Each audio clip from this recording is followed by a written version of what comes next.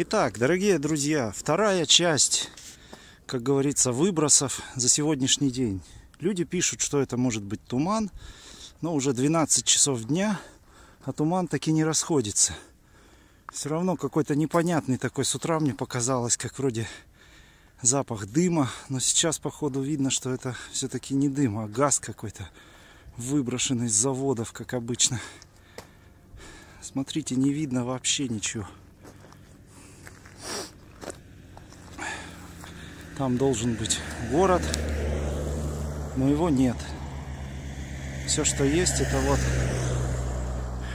крыши домов, торчащие немножко.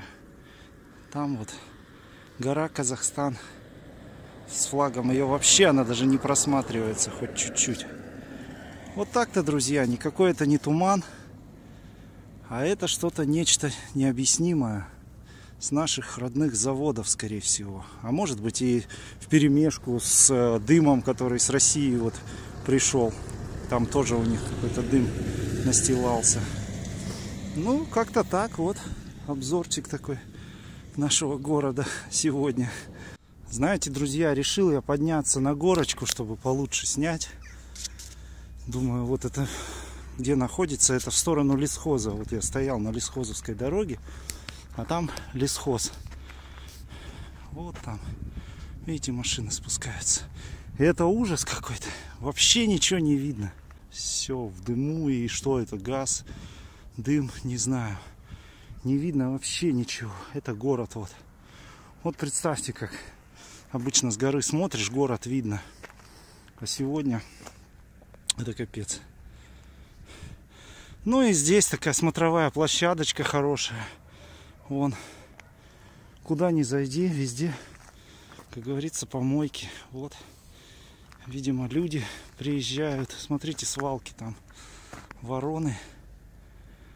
Вон, вон свалки.